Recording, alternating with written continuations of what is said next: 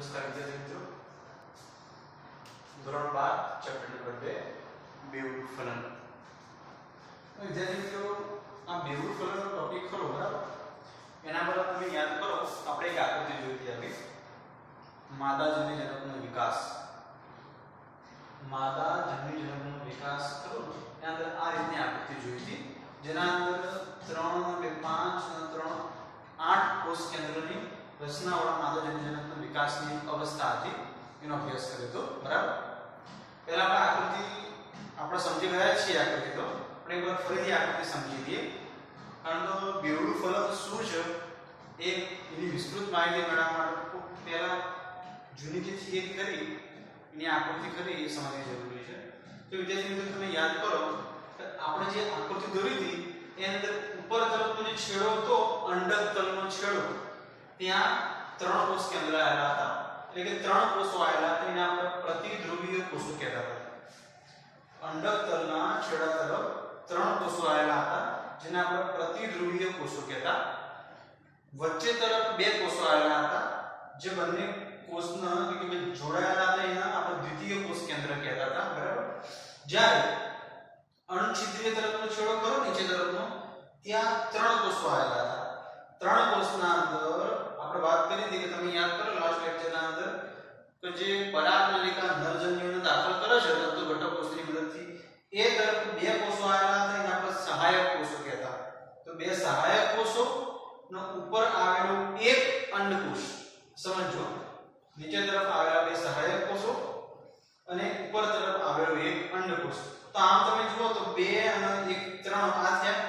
તો ત્રણ જો ભેગા થઈને બોલવામાં આવે, તો એને કહેવાય અંડ પ્રસાધન તો તમે એમાં ગણી શકો, ત્રણ કોષ કયા? તો પ્રતિધ્રુવીય કોષ, બે કોષ, દ્વિતીય કોષ કેન્દ્રના અને સૌથી નીચે તરફ આવેલા ત્રણ કોષ એક અંડ પ્રસાધનના ફરીથી આપણે જોઈ લો.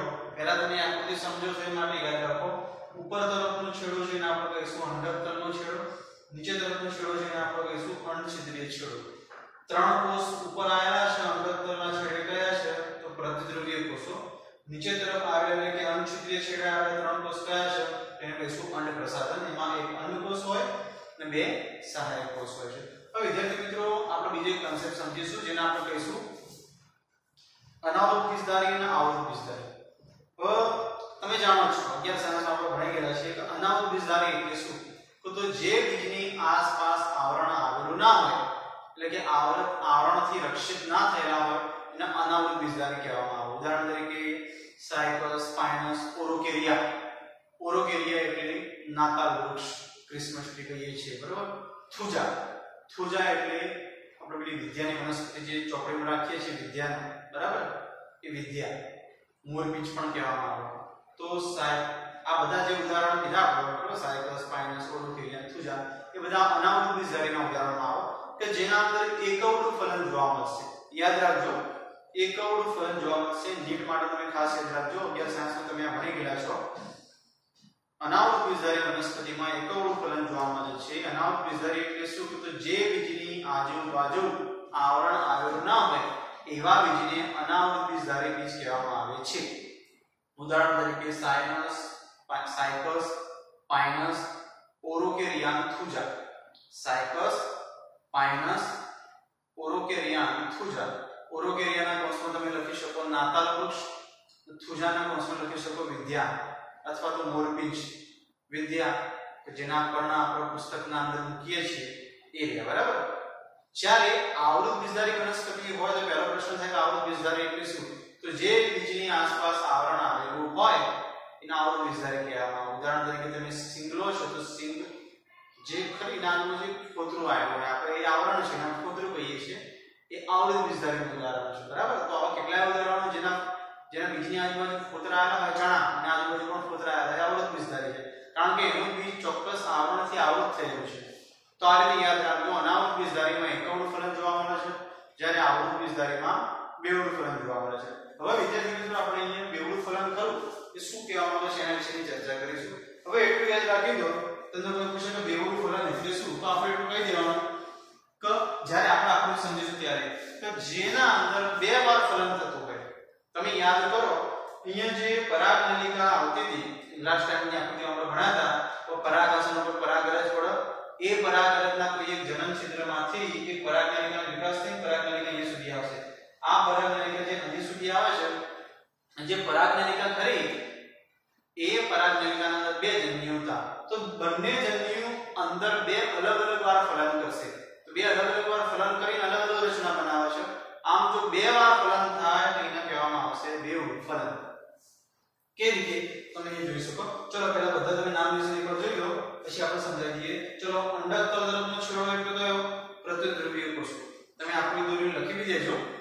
પછી પ્રમાણે સમજી તમારા અંદર ડાયાગ્રામ બનાવી દેજો કમ્પ્લીટ એટલે શું તમને લાંબા સમય સુધી યાદ રહી શકે?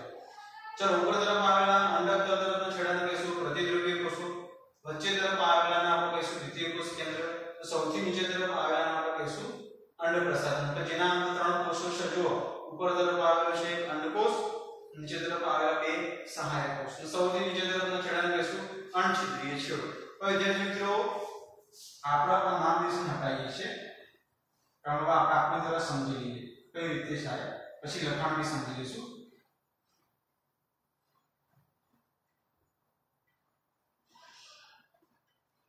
બસ મિત્રો. આપણે વાત કરી કે આ તો અંડક બીજાની રચના છે, બરાબર? સમજી લો પરાગાસન છે. આ પરાગાસન પરાગ રસ પડી એ પરાગરજના કોઈ જનન છિદ્રમાંથી પરાગનલિકાનો વિકાસ થાય એ પરાગનલિકા એ સીધી અહીંયા તરફ આવે નીચે તરફ બરાબર હવે આ પરાગનલિકા નીચે તરફ આવી તો આપણે વાત કરી હતી કે જે પરાગનલિકા કરી બરાબર આ પરાગનલિકાના અંદર સમજી લો કે બે જન્યુ છે બે નરજન્યુ એ બે નરજન્યુ આપણે વાત કરી કે નરજન્યુને જો સહાયક કોષોના આંતરિકા જનન છિદ્ર સોરી આ અંડક છિદ્ર તરફ જો પ્રવેશવું હોય તો અહીંયા તમે યાદ કરો તંતુમય ઘટકો સપોર્ટ કરતા એ તંતુમય ઘટકોની મદદથી આ નરજન્યુ અંદર જતા એ નરજન્યુ કરા પહેલા સહાયક કોષના જોડે આવતા બરાબર સહાયક કોષ જોડે જઈ અને આ પહેલો નરજન્યુ કરો એ પહેલો નરજન્યુ આ અંડકોષ સાથે જોડાશે આ પહેલો નરજન્યુ એ આ અંડકોષ સાથે જોડાશે ફરીથી કહું છું તમને આ પહેલો નરજન્યુ કરો એ આ અંડકોષ સાથે જોડાશે આ અંડકોષ છે હવે તેની અંદર તમને ખબર છે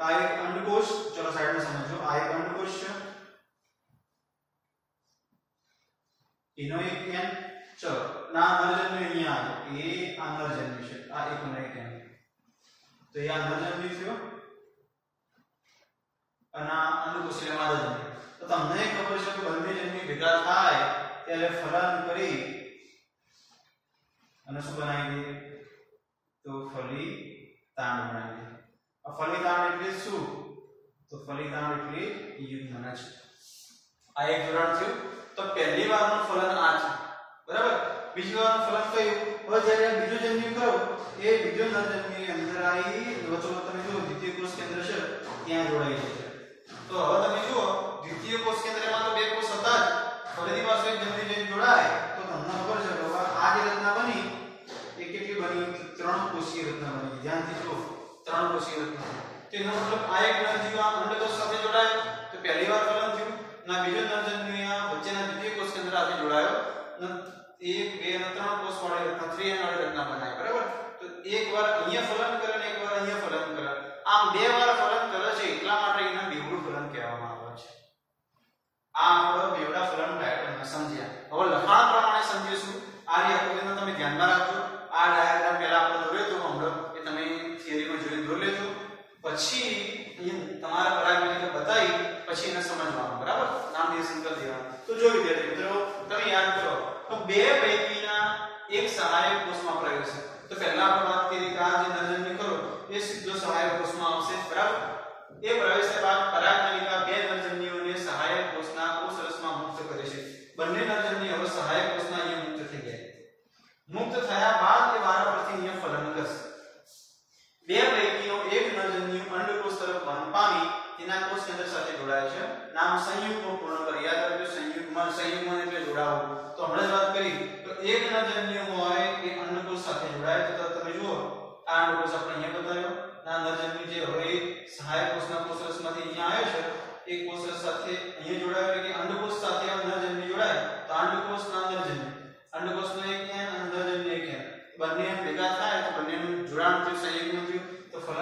nós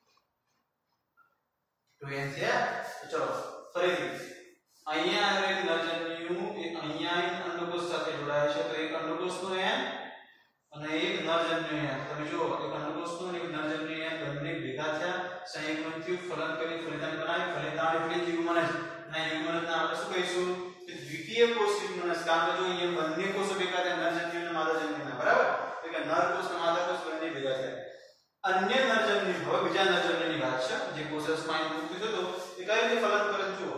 અન્ય નરજન્યુ ભ્રૂણપુટના મધ્યમાં આવેલા. તો ચલો, એ અન્ય ભ્રૂણપુટ ખરું? બરાબર? એ ભ્રૂણપુટના મધ્યમાં શું આવેલું તો યાદ કરો? દ્વિતીય કોષ કેન્દ્ર હતું. મધ્યમાં આવેલા દ્વિતીય કોષ કેન્દ્ર. પહેલા શું હતા? તો અહીંયા બે જ કોષ હતા વચ્ચો વચ્ચ એને આપણે કહેતા દ્વિતીય કોષ કેન્દ્ર. એના તરફ પ્રયાણ કરી તેની સાથે જોડાઈને ત્રિકીય પ્રાથમિક ભ્રૂણકોષ કોષ પ્રાથમિક ભ્રૂણકોષ કોષ કેન્દ્ર કહેવાનો મતલબ પહેલું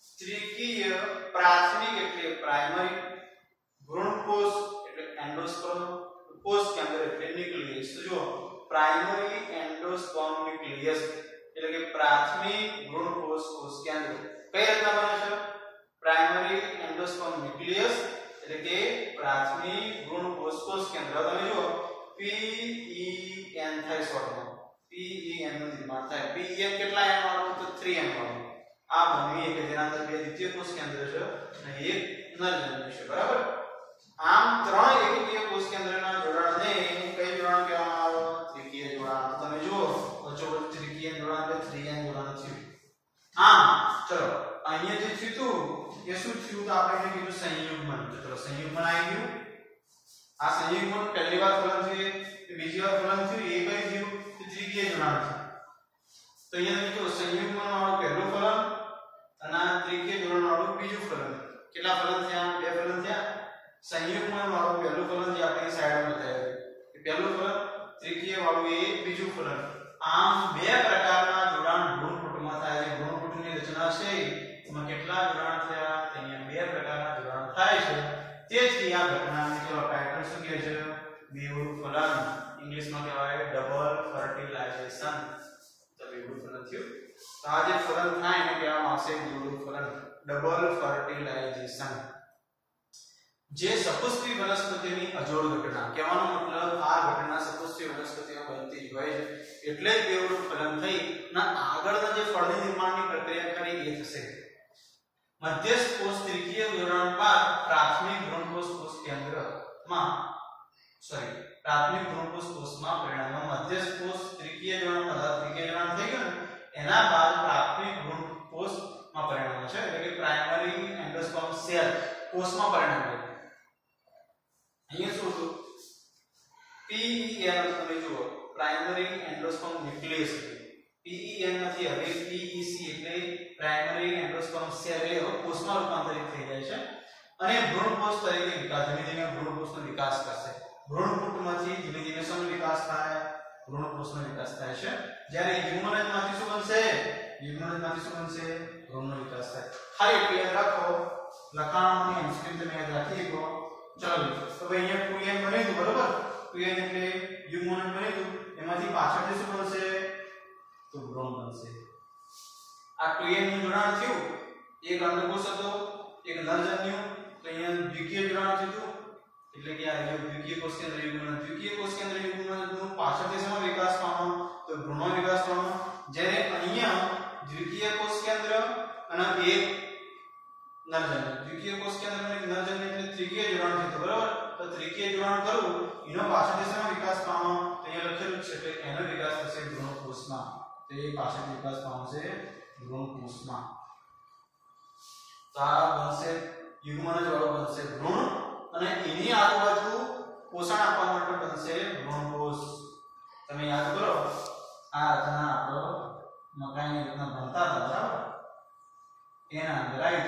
એના અંદર વચ્ચોવચ્ચ એક બીજ આવેલું હતું મકાઈની બીજ રચનાને યાદ કરો કે સાયન્સ વચ્ચે જે બીજ આવેલું હતું એને કહેતા ભ્રૂણ બીજની રચનાને આપણે કહેતા ભ્રૂણ જ્યારે આજુબાજુનો પીળાશ પડતો કલરનો પ્રદેશ હતો એને કહેતા ભ્રૂણ કોષ પ્રદેશ તો અહીંયા એક છે આ ભ્રૂણ બને છે આ વચ્ચેનો ભાગ જે 2n દ્વિકીય છે જ્યારે આજુબાજુ ભ્રૂણ કોષ પ્રદેશનો ભાગ બને છે એ 3n દ્વિકીય છે મકાઈની અંદર બીજની રચના થઈ તો તમે જુઓ આ આવૃત બીજધારી છે ને તો આવૃત બીજધારી વનસ્પતિની અંદર આવું જોવા મળે એટલે આપણે લખ્યું છે કે સપોઝ તે વનસ્પતિની એક અજોડ ઘટના છે બરોબર વિદ્યાર્થી મિત્રો તો આ બેવડું ફલન બેવડું ફલન એટલા માટે કહેવામાં આવે છે તો બંને નરજન્યુતા એમાં પહેલો નરજન્યુ એ અંડકોષ સાથે જોડાઈ ફલન કરી ફલિતાંડ બનાવે છે એને આપણે કહીશું દ્વિતીય કોષ યુગ્મન જ જ્યારે બીજો નરજન્યુ એ દ્વિતીય કોષ કેન્દ્ર સાથે જોડાઈ ત્રિકીય રચના બનાવે છે એને આપણે કહીશું ત્રિકીય જોડાણ અથવા તો એને આપણે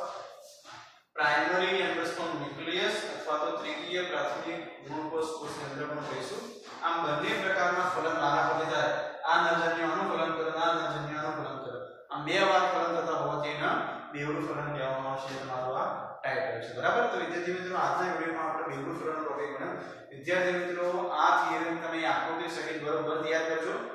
બોર્ડના એક્ઝામિનેશન માટે ખૂબ જ મહત્વની છે. નીટના અંદર પણ આ ખૂબ જ મહત્વની છે અને ગુજકેટના અંદર પણ આ ખૂબ જ મહત્વની. છે પીઈએનનું ફૂલ ફોર્મ પીઈસી નું ફૂલ ફોર્મ કયું જોડાણ કરી થશે? બરાબર? આ રચના છે, એની આકૃતિ છે. આકૃતિના અંદર પણ નામ દઈ પણ એક્સ વાય ઝેડનું તમને પૂછવામાં આવશે. જોડકા પણ પૂછી શકો સંગર અસંગર પણ પૂછી શકો બેવડો ફરણનો ટોપિક તમારા માટે ખૂબ જ મહત્વનો છે. આ ટોપિકનું તમે નોટના અંદર ઉતારી અને આકૃતિ વારંવાર ત્રણથી ચાર વાર આકૃતિ દોરી સમજજો આ તમને થિયરી ઇઝીલી યાદ રહી શકે. બરાબર? તો આ બેવડા ફરણના ટોપિક સુધી રાખીએ છીએ. નેક્સ્ટ ટોપિકની ચર્ચા આપણે નેક્સ્ટ વિડીયોના અંદર કરીશું.